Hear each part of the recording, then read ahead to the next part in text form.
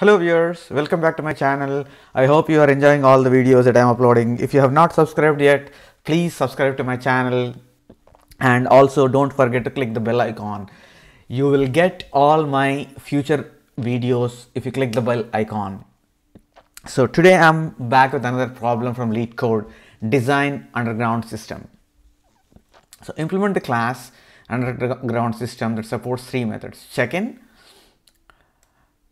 it has three parameters id station name and t time. So a customer with id card equal to id gets in the station station name at time t. A customer can only be checked into one place at a time. So that's the constraint. So customer cannot be checked into multiple places at the same time right?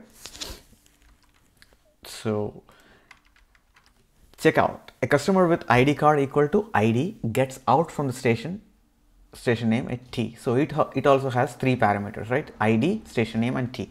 So basically a person who has checked in at one station has to check out at another station before checking in at another station. So that's the constraint here, right? So you have to check in at a station and check out at another station before checking in, in at some other station. So it's like that.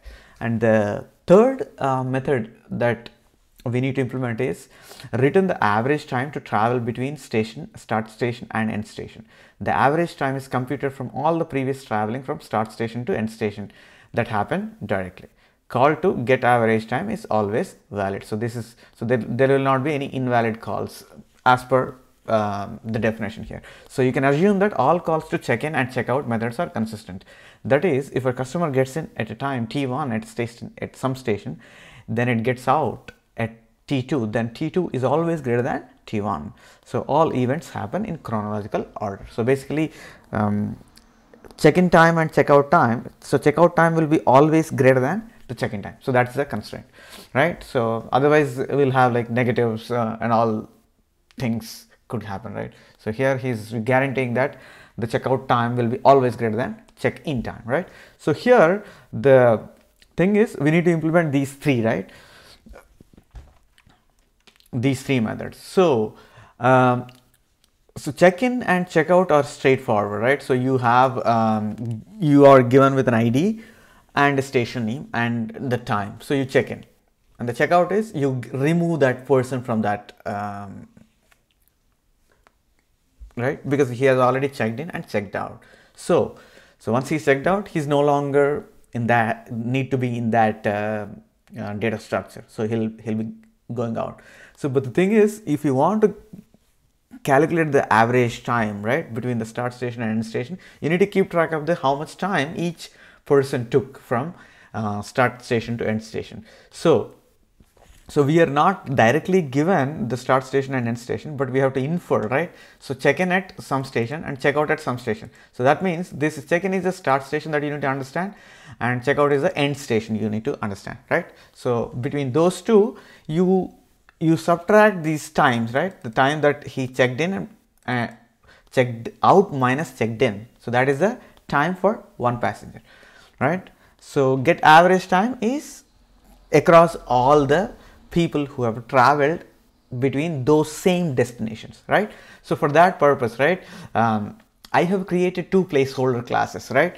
So one is a passenger class where um, it keeps track of the uh, passenger when he has entered into or checked into a city at what time. So to keep track keep track of the two pieces of information, right?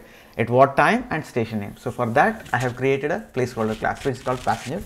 And uh, to keep track of the averages, right? I have another class where it keeps track of the number of people uh, who travel and the time, the cumulative time uh, they have spent in traveling, right? So the cumulative time spent in traveling from station A to station B. So finally, when you want to get the average time, right? So you just divide the cumulative uh, time by the number of people who traveled that time, right? That's simple. So for that purpose, so I have these two classes. Passenger is holding the information as city and time and averages. This is holding the total time and total count, right? So averages. So finally, when you return uh, what is the average, right? So you sub, uh, divide the total time by total count of pa passengers who traveled between those two um, destinations, right? Stations. So I create two maps here. So what is passenger map and the averages map, right? So initialize in the underground system um, constructor, okay? So when a passenger checks in, all you need to do is add his him into passenger map with since you know his unique ID, right? So ID and uh, create a new passenger with uh, station name and T, right? So that that's all you need to do in the check-in, right? You don't need to do anything else, right?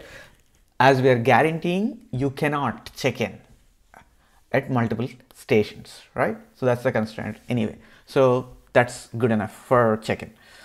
For checkout, right? So we get the person, right, passenger and remove that fellow from the passenger map because he is checking out, he checked out, right? So he don't need to be in the passenger map anymore. So once he checks out, so what we need to do is essentially we need to keep track of the average time between the time he entered the station versus exit the different station. So now, so uh, to keep track of the average maps, right? So we keep the from and to. From to is the city where he started and the city where he ended, right? So we uh, call, I'm calling that as a from and to and average map if there is, uh, if there is no, um, no, there is no value created for, for that uh, route, right? But station A to station B, then we just create, create that and add with the new averages as 0, 0 and 0. So that means nobody has traveled yet. So, and what we are adding is the cumulate the time spent between stations, station A and station B. So you subtract T minus the time where he checked in, right, and increment the total count. So that's what you are doing at the checkout. So this is good enough for checkout. So we removed and we are trying to calculate, uh, we are trying to add the total time and increment the person count, right? So that's what we are doing here. And when you want to get the average time, right? So as we know, the average map, the key is the string. The string is formed with the two station names, right? The start station name and end station. Here also start station and end station, right?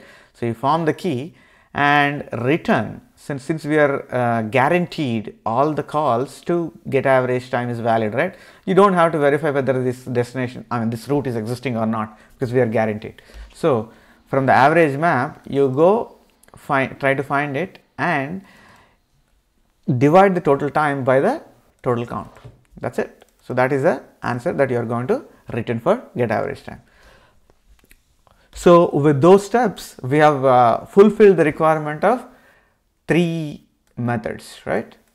So just to recap, right? Check-in is just you add that person with the timestamp into the map and check out, you remove that person and calculate the uh, uh, add instead of calculate, right? Just add the total time and total count so that when somebody asks for average, right? You just do the division of total time with the total count and return that.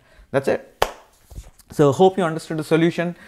If you like, please share this video among your friends and also don't forget to subscribe to the channel and also click the bell icon so that you get all the future video updates. I'll be back very soon with another problem from LeetCode. If you are looking for one-on-one -on -one coaching session or uh, interview interview help, interview guidance or one-on-one -on -one mock interviews, please leave your email in the comment section. We, I'll get back to you as soon as I can. I'll be back very soon with another lead LeetCode problem. Thank you for watching. Bye.